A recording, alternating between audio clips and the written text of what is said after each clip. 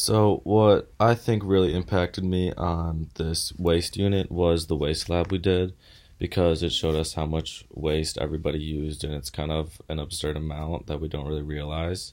And if we do realize that soon enough, uh, that everybody realizes that, and if we cut back on one thing, that it'll have a great impact on our earth. So, I think we just need to take positive steps towards that direction.